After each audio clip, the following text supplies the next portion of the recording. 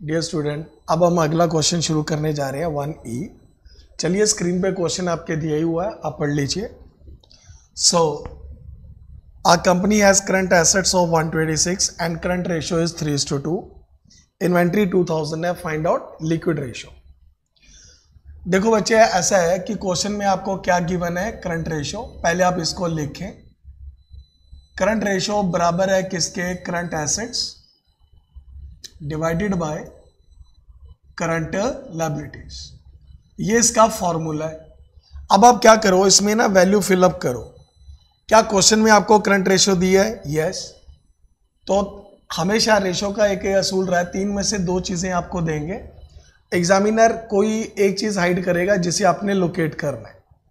तो अब क्वेश्चन में करंट रेशो दिया है three to two current ratio यानी ये, इसकी वैल्यू है three by two is equal to क्या लिखना हमने करंट एसेट जो क्वेश्चन में गिवन है one lakh twenty six thousand divide किससे करेंगे आप? करंट लाइबिलिटी से.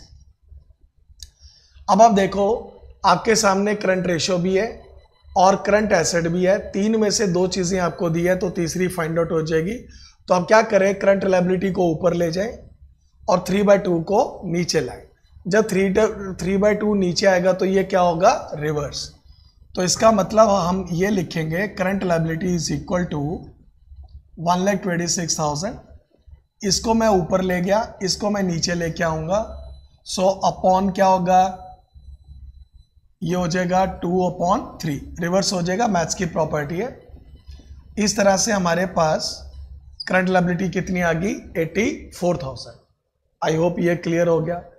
लेकिन क्वेश्चन में आपसे क्या मांगा गया है? गौर से देखिए क्वेश्चन में क्या लिखा हुआ है? फाइंड आउट लिक्विड रेशियो तो अब लिक्विड रेशियो का फॉर्मूला लिखें।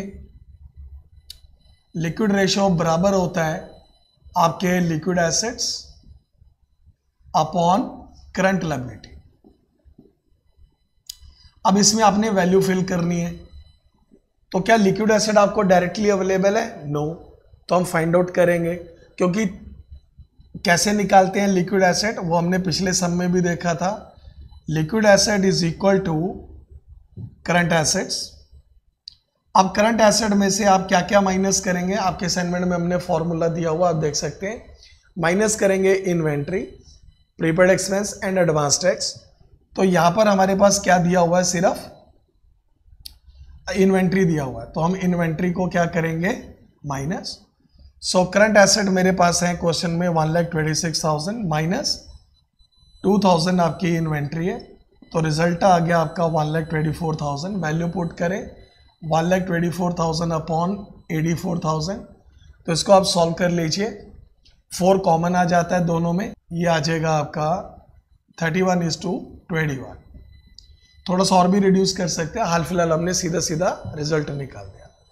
आई होप आपको ये क्लियर हो गया होगा। चलिए, अब आपके डाउट का एक नया वीडियो मैं बना के आपको जल्दी पहुंचाता हूँ। Thank you very much